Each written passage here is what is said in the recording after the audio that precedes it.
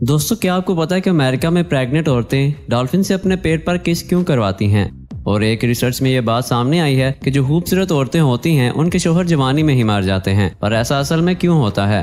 और क्या आप एक बाज़ार के बारे में जानते हैं, जहाँ पर नकाम आशिक अपने सबका महबूब से मिले हुए तहफ और चीज़ें बेचने आते हैं? इसी तरह के इंटरेस्टिंग फैक्ट्स और किस्से कहानियाँ जानने के लिए वीडियो को आखिर तक ज़रूर देखिएगा। तो चलिए स्टार्ट करते हैं आज की ज़बरदस्त वीडियो। फैक्ट नंबर वन दोस्तों इंसान के हाथ में आमतौर पर चार उंगलियाँ और एक अंगूठा होता है, लेकिन ब्राज़ील में रहने वाले डासिल्वा खानदान के हर फर्द के हाथ में पाँच उंगलियाँ और एक अंगूठा है, जबकि हाथों और पैरों की उंगलियों की तादाद चौबीस है। अपने शहर में द फैमिली ऑफ़ सिक्स के नाम से शोहरत रखने वाली द सिल्वा फैमिली अजाफी उंगलियों को छुपाने के बजाय फखर से दिखाने को तरजीह देती है। इनका कहना है कि हमें दीगर इंसानों से मुख्तलिफ़ बनाया गया है और हमें इस पर फख्र है। आमतौर पर देखने में आता है कि जिन अफराद की इजाफी उंगली होती है, वो इसे इस्तेमाल नहीं कर सकते, जबकि ये फैमिली अपनी उंगलियों से दूसरी उंगलियों की तरह तमाम रोज़मर्रा के काम कर सकती है। इस खानदान में चौदह अफराद हैं और सबकी टोटल चौबीस उंगलियाँ ही हैं और हाल ही में पैदा होने वाले एक बच्चे की भी चौबीस उंगलियाँ हैं। खानदान का एक फर्द फुटबॉल गोल कीपर है और इसका कहना है की छह उंगलियों से मैं बेहतर तौर पर फुटबॉल पर गिरफ्त कर सकता हूँ और दीगर खिलाड़ियों से बेहतर परफॉर्म करता हूँ। फैक्ट नंबर टू दोस्तों, क्या आपको पता है कि हाथी अपने कानों के साथ साथ अपने पाँव से भी सुनते और बोलते हैं? अब आप सोच रहे होंगे कि वो कैसे? दरअसल दोस्तों, हाथी का जो वेट होता है, वो बहुत ज़्यादा होता है। तो वो अपने इस वेट का इस्तेमाल करके जंप करते हैं। और उनके अलग अलग किस्म के जंप का एक अलग मतलब होता है। और ये एक अलग तरह की लैंग्वेज होती है। और ऐसा करके वो बहुत से किलोमीटर दूर मौजूद हाथियों से बातें कर पाते हैं। तो जब भी हाथी कूदते और चलते हैं तो एक तरह की वेव पैदा होती है, जो ज़मीन के नीचे से होते हुए उन हाथियों तक जाती है, जो इनसे बहुत दूर होते हैं। और इस तरह ये इन वेव्स के ज़रिए आपस में बातें करते हैं, जो सिर्फ़ हाथी ही समझ सकते हैं। Fact number three. विज्ञानिला इटली। ये जो जगह है, ये विंटर में 83 डेज़ के लिए। इस जगह के गिर्द पहाड़ों की वजह से यहाँ पर जितने भी घर मौजूद हैं, वहाँ सनलाइट बिल्कुल भी नहीं पहुँचती। तो दोस्तों, यहाँ कुछ ऐसा सेटअप किया गया है और मिरर की मदद से इस जगह पर लाइट को आर्टिफिशियली पहुँचाया जाता है। सूरज की रोशनी मिरर पर पड़ती है और वहाँ से रिफ्लेक्ट होकर वो पूरे एरिया को ग्लो कर देती है। और ये दुनिया के सबसे अमेजिंग सेटअप में से एक है। और शायद दुनिया की वाहिद ऐसी जगह है जहाँ कुछ ऐसा करने की ज़रूरत होती है। फैक्ट नंबर फोर से पहले, अगर तो आपने हमारा चैनल पहले से सब्सक्राइब किया हुआ है तो थैंक यू सो मच और अगर आप चैनल पर नए हैं तो जल्दी से रेड बटन दबाकर हमारा चैनल सब्सक्राइब करें, ताकि हमारी नई वीडियोस के नोटिफिकेशन आपको सबसे पहले मिलते रहें. फैक्ट नंबर फोर दोस्तों, जापान में रहने वाला एक आर्टिस्ट बाँस के टुकड़ों, रेशों से तितलियों, बमरों और शहद की मक्खियों के ऐसे मॉडल तैयार करता है कि देखने वाले इसकी महारत देखकर चौंक जाते हैं। इन जानवरों के मॉडल्स को बनाने में बहुत ज़्यादा मेहनत सर्फ होती है, जिसका अंदाज़ा आप ये खूबसूरत मॉडल्स देखकर लगा सकते हैं। इन मॉडल्स में टिड्डी की मूछें देखी जा सकती हैं, जबकि ड्रैगन फ्लाई के परों पर रंगों का नुमाया जाल भी बहुत बारीकी से बनाया गया है। आर्टिस्ट ने बताया कि वो बाँस का इस्तेमाल इसलिए करता है कि बाँस का पौधा लचकदार होता है और इसे बहुत सी सूरतों में ढाला जा सकता है क्यों दोस्तों? आप इस आर्टिस्ट को सौ में से कितने नंबर देते हैं? कमेंट बॉक्स में ज़रूर बताइएगा। फैक्ट नंबर फाइव दोस्तों, आज से कुछ साल पहले साइंटिस्ट को समंदर के अंदर ये मिस्टेरियस सर्कल मिले। तो शुरुआत में तो साइंटिस्ट को ये पता ना चला कि ये अजीब से सर्कल कैसे समंदर की गहराई में बन रहे हैं। तो कुछ लोगों ने कहानियाँ बनानी शुरू कर दी कि ये सर्कल एलियंस ने बनाए हैं। लेकिन जब इन सर्कल्स पर रिसर्च की गई तो पता चला कि ये जो सर्कल हैं, ये एक फ़िश बनाती है, जिसका नाम होता है पफर फ़िश और ये सारे के सारे सर्कल मेल पफर फ़िश बनाते हैं। और वो ये सर्कल फीमेल पफर फ़िश को अपनी तरफ़ अट्रैक्ट करने के लिए और उनको प्रपोज करने के लिए बनाते हैं। फैक्ट नंबर सिक्स एनिलोसिमस एक्सिमस दोस्तों, ये जो स्पाइडर की ब्रीड है ना, ये दुनिया की सबसे खतरनाक स्पाइडर्स में से एक है, क्योंकि ये पचास हज़ार से साठ हज़ार स्पाइडर्स मिलके कुछ ऐसा जाल बनाते हैं दरख्तों पर। आपने वैसे तो स्पाइडर का वेब देखा ही होगा, लेकिन ये वाला कभी नहीं देखा होगा, क्योंकि ये एक बहुत ही ज़बरदस्त टीम वर्क है और खतरनाक भी। फैक्ट नंबर सेवन दोस्तों, अगर मैं आपसे पूछूँ कि क्या आप खतरनाक सांपों के साथ रहना चाहेंगे तो आप बोलेंगे कि ऐसा तो कोई पागल भी नहीं करना चाहेगा। लेकिन आज मैं आपको एक ऐसे आइलैंड के बारे में बताने जा रहा हूँ, जिसमें इंसान और जहरीले सांप एक साथ ही एक जगह पर रहते हैं। दोस्तों, मैं बात कर रहा हूँ जोगांडा के मुसाबवा आइलैंड की, जो कि जोगांडा के विक्टोरिया झील पर आज भी मौजूद है। इस आइलैंड में आज भी एक हज़ार से भी ज़्यादा जहरीले कोबरा सांप रहते हैं, जिसके बावजूद भी ना तो यहाँ के लोग इनसे डरते हैं और ना ही सांप इनको नुकसान पहुँचाते हैं। यहाँ के लोगों का मानना है की सांपों की जान गलत है, क्योंकि सांप उनके कल्चर का एक हिस्सा है। इस आइलैंड पर अगर किसी के घर सांप आ जाए तो लोग इसे लकी समझते हैं, और सांप भी इनका नुकसान नहीं पहुंचाते।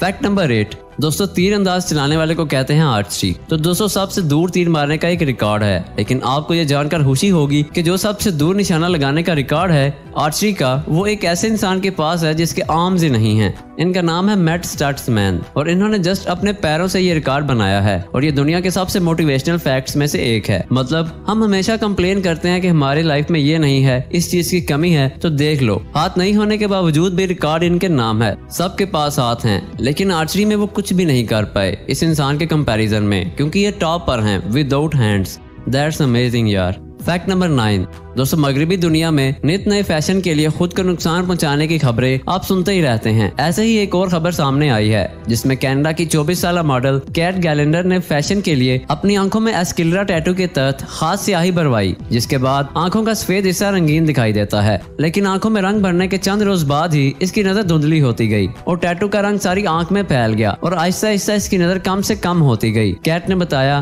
कि वो इस सूरत हाल से बहुत खौफजदा है और वो इतनी दर्द नहीं बर्दाश्त कर सकती। और अगर यही सूरत हाल रही तो वो अपनी आँख निकलवा देगी। ये जो तस्वीर आप देख रहे हैं, ये कैट की आँख में टैटू बनवाने से पहले की तस्वीर है। फैक्ट नंबर टेन दोस्तों, आप नेटफ्लिक्स पर मनी ही सीज़न देखते होंगे। उसमें आपने देखा होगा कि एक ग्रुप उसमें चोरी करता है। और ऐसा ही एक रियल ग्रुप भी था, जो कि बुड्ढों का ग्रुप था। और इस ग्रुप का नाम था ग्रैंडपा गैंग और इस ग्रुप में जो सबसे ओल्डेस्ट था, उसकी एज थी सेवेंटी और इन्होंने इंग्लिश हिस्ट्री की सबसे बड़ी बैंक रॉबरी की है। इन्होंने एलिवेटर में जाकर एक खास जगह पर ड्रिल करके 200 मिलियन डॉलर्स वर्थ का कैश और ज्वेलरी चोरी की थी। और ऑफ़ कोर्स हर गैंग की तरह ये भी बाद में अरेस्ट हो गए थे।